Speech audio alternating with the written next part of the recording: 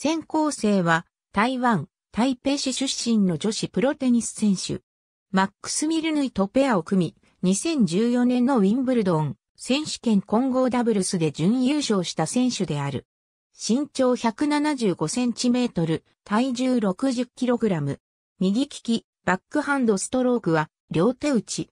これまでに WTA ツアーでダブルス16勝を挙げる。自己最高ランキングはダブルス5位。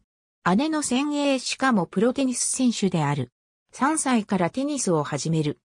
普段からダブルスのみに活動を絞り、4大大会の女子シングルスには一度も出場がない。2014年ウィンブルドン選手権の混合ダブルスでは、マックス・ミルヌイとペアを組んで決勝に進出した。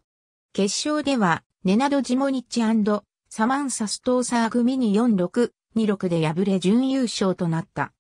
姉のセンエーゼンとペアを組むことが多く、2015年、全米オープン、2016年全豪オープン、2016年全仏オープンの女子ダブルスでベスト8に進出している。